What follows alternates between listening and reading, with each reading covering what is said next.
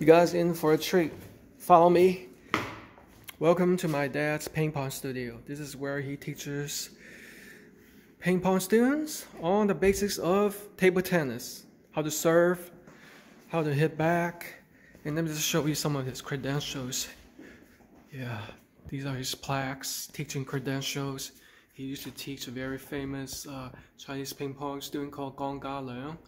Yes, that's my dad when he was young, right there. Okay. All right. So if you follow me, this is the pack. I bought him 600 ping pong balls for, uh, let's just say spectacular price, very affordable. It's come shipped in this large box because there are 600 balls. And these are the Kevenz 60 pack three star ping pong balls. Okay, so there we're gonna bust out one of these and see what it's all about.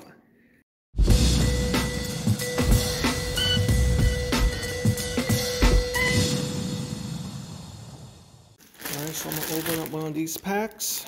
And yes, these are made in China. It's got the three star rating right there.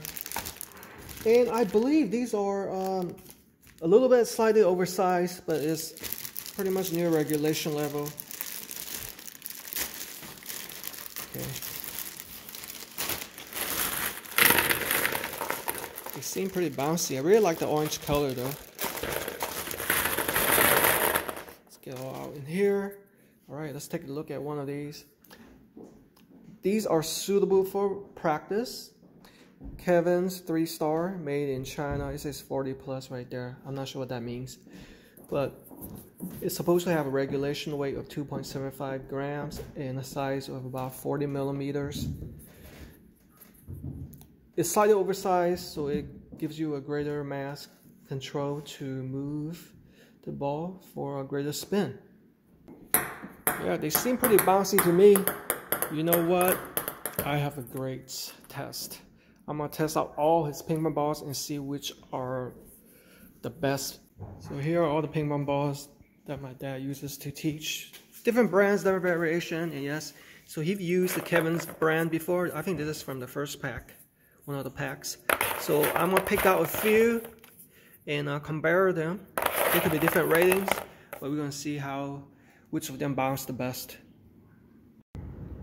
You guys in for a treat. I actually found 10 uh, brands or different style of Kevenz, even though one of them a different color. Okay. Ranging from Franklin, Regale, um, Mapo, JOOLA. Actually, the Franklin, the same one. Sportcraft, iPong. Yeah. And uh, what's this, Butterfly? All right. Kevenz versus Kevenz, just different color. Hey, the orange one looks better. Okay, Kevenz versus a one star Franklin. Again, Kevenz. Okay, Kevenz versus Regale. Again, Kevenz. Now we have Kevenz versus iPong. Never heard of iPong before.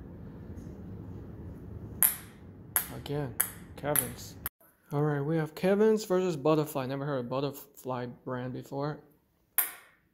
Again, Kevenz. Now we have Kevenz versus JOOLA. Now I am familiar with the JOOLA brand, so we have a three star versus a two star. Oh, this one is close, but looks like slight edge to Kevenz. Now we have Kevenz versus Sportcraft. Oh, Sportcraft looks definitely smaller. I've heard of the Sportcraft brand, but it looks like it's one star and it's, it's usually cheaper paddle, so we'll see. Kevenz.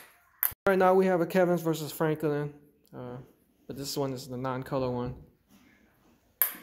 Kevenz. And lastly, we have a Kevenz versus a Mapo.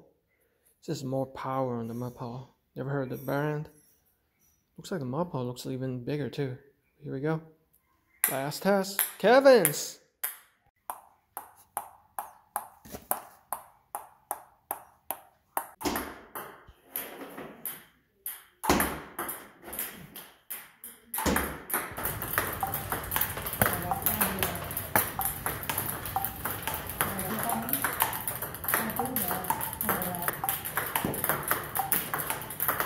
Wow, these Kevenz ball does have a distinctive bounce and sound to them. Pretty unique. So here are all the damaged balls. And looks like quite a few of them are Kevenz, but along with different brands.